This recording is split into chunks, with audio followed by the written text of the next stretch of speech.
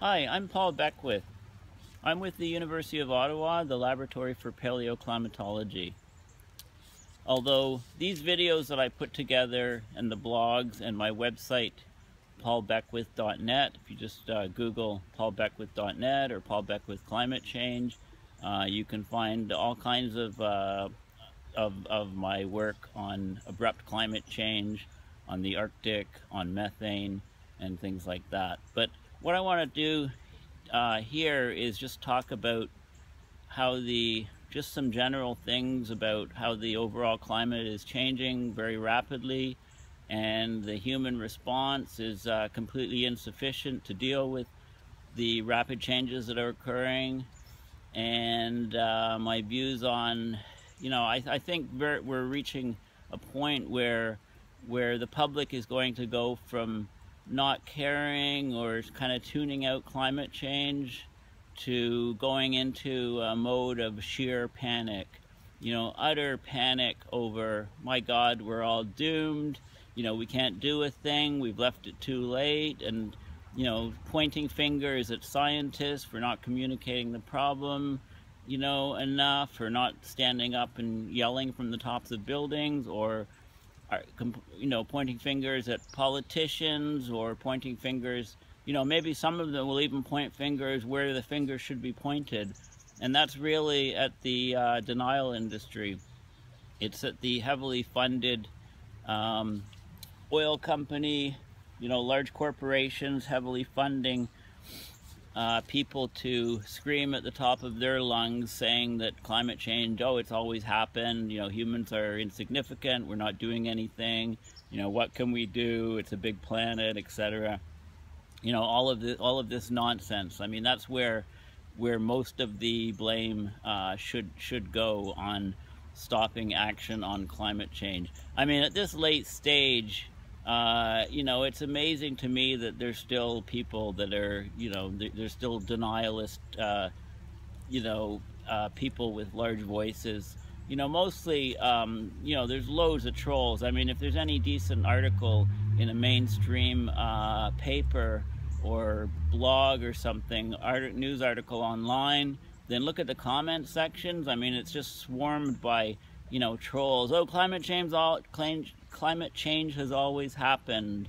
You know, uh, what can we do to the planet? Uh, you know, it's a big place, and uh, you, like it's just it's at this stage we should be over this.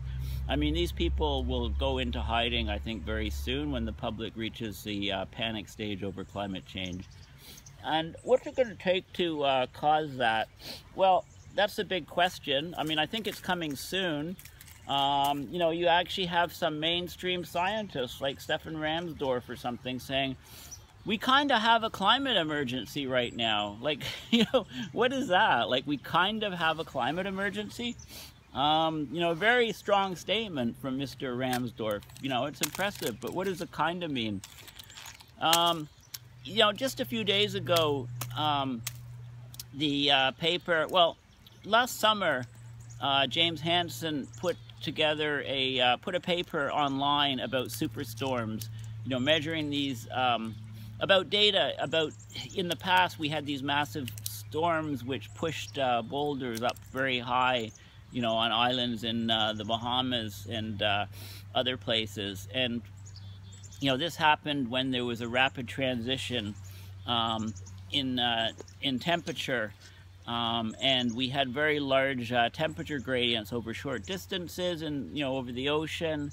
And therefore we had large pressure differences and very high winds. And these high winds had very large fetch over the ocean and generated these massive waves which then pushed up boulders onto onto uh, shorelines and things like that. So this paper came out originally back in um, well it was it was I think it was June of 2015 and something like that and anyway, when it came out, June, July, maybe, you know, about that time, and when it came out, I thought, yeah, this is an extremely significant paper. And I actually uh, filmed nine different uh, YouTube videos going through the paper sequentially, um, breaking it down, um, putting it in the context of abrupt climate change. I mean, it covered a lot of things. It didn't cover everything.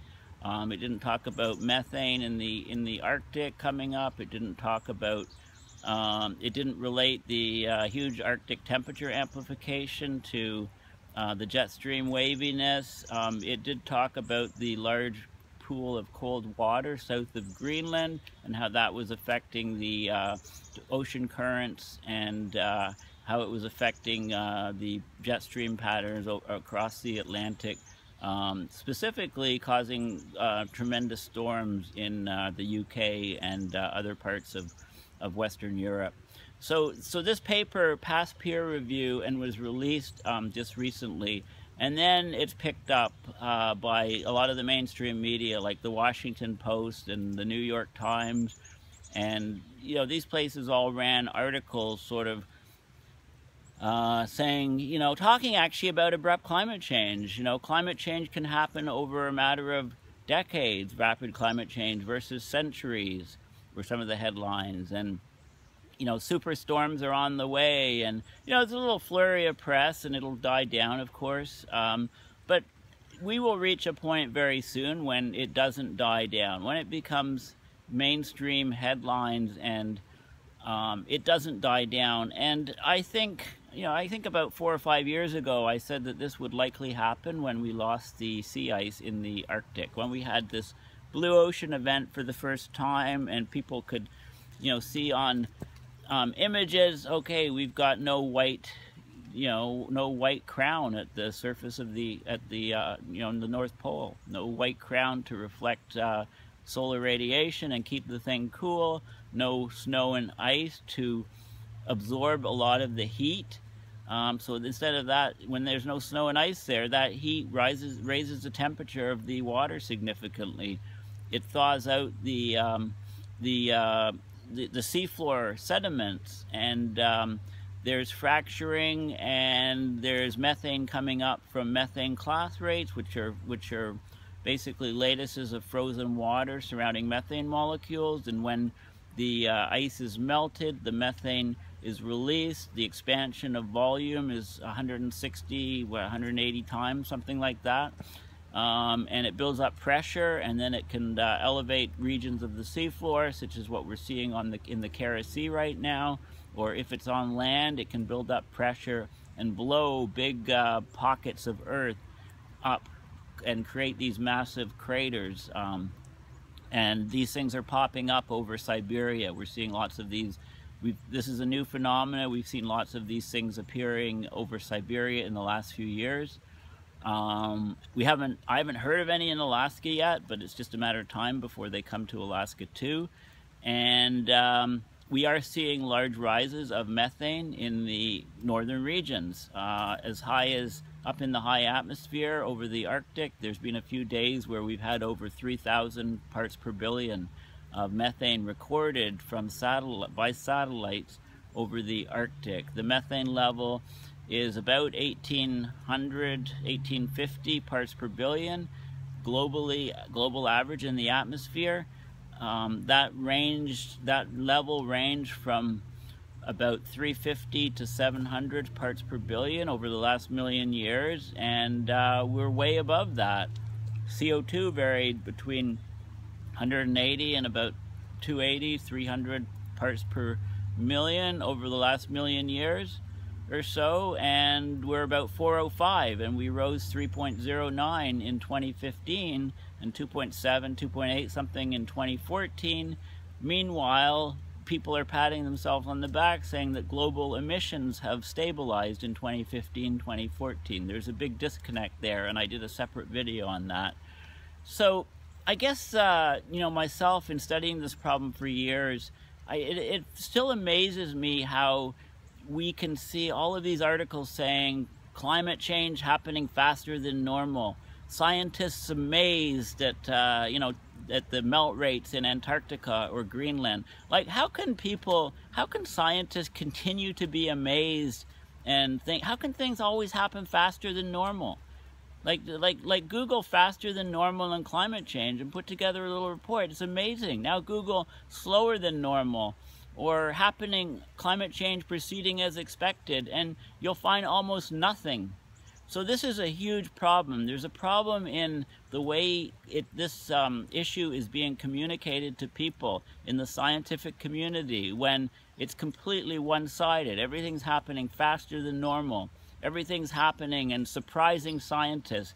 And the IPCC models do not account for methane. They say methane is not going to come up, and it's not really, it's, when I say not accounted for, they don't account or, or uh, they don't run any models on the case if methane comes up big time from permafrost or tundra or, or uh, from the clathrates in the ocean floor. This isn't in the IPCC models. They, there's 20, 30 models and they're continuously used and the envelopes are measured and the deviations are measured and all of this stuff's in the IPCC reports. And in their infinite wisdom, they neglected to uh, consider methane coming up in large quantities. The cold blob uh, south of Greenland, the warm blobs in the Pacific, you know, when scientists start calling things blobs, you know, start to, you know, run for the hills and get extremely worried because it means that they don't really know, you know, what's going on. And, you know, we're seeing, you know, in the last uh, five, six years, maybe 10 years, I mean, we started to see a change in the statistics of extreme weather events around the planet. The frequencies, severities, and durations of, of floods and droughts and, uh, extreme weather events like this, heat waves, has increased greatly. It's ramping up. The insurance companies are, are very aware of this. Um, the public is waking up to these problems, and when we have the first blue ocean event in the Arctic, the Arctic temperature amplification greatly accelerates because of the declining albedo. Arctic's getting darker, but also because of the latent heat effect. And um, the, the warming we ain't seen nothing yet, baby. Um, the warming in the Arctic is going to skyrocket far beyond anything we've seen, and this is going to really monkey way more with our weather system, our extreme weather system, you know, events and stuff will will skyrocket, probably a factor of 10 or 20. And then, and so we're, we're, it's just a matter of time before the public starts to panic over this. Um, you know, in Paris, it's all the talks about a two degree, you know, two's too much. 1.5 above pre-industrial. Well, all of February 2016, we were 1.57 degrees above pre-industrial. In fact, there's a day, uh, I think it was March 3rd or something, when the global, the northern hemisphere was above over 2 degrees Celsius warmer than normal. I mean, one and a half degrees or two degrees, you know, these numbers are really meaningless. I mean, the, the, the temperatures are rising much faster over the land, for example, than the oceans. But the oceans are, are warming. They've taken in over 90% of the heat. You know, there was no there was no hiatus in in uh, global in in the heat being absorbed by the Earth. Sure, most of the heat was going into the oceans, and the air temperatures were um, they they they they kind of leveled off for a, a, decade there. But the heat was still going into the oceans. The air temperature was still rising, but not at the same rate that it is normally rising, and the Arctic was skyrocketing in terms of temperature, and the ocean still acidifying. So, like, we have an emergency situation on our hands. There's, you know, it's, uh, I don't know, you know, wave your hands, jump up and down, you know, what can we do? We, we have an emergency situation on our hands. So are people going to be stupid, or are people going to continue to be dumb about this? We need to zero fossil fuel emissions. There's no question. We need to do it on the level with the urgency of the, say, the Manhattan Project to build the bomb in World War II or the Marshall Plan to rebuild Europe and rebuild Japan after the war was over. We need to do this uh, full speed ahead. It's not a technology issue, it's a political issue. We also need to remove CO2 from the atmosphere so that the ocean uh, acidity stabilizes, we preserve the marine food chain. Because if we keep acidifying the oceans, we're going to lose the phytoplankton, and it's going to cascade up the food chain, and we can't live on Earth. On sorry, land animals can't live without the without a vibrant ocean marine uh, ecosystem. And we also need to cool the Arctic. We need to cool the Arctic because the methane is going to come pouring out, um, and we're going to go to a green Arctic. We're going to have no snow and ice in the Arctic. We're going to be in a much warmer world, and this is all happening on decades, uh, decade or two time scales. Um, this is becoming very, very evident to many, many more people. I've been talking about it for five years. So please have a look at my website, paulbeckwith.net, and please make a lot of noise to any decision makers that you know to let people know, yes, we have a climate change emergency. So thank you for your time.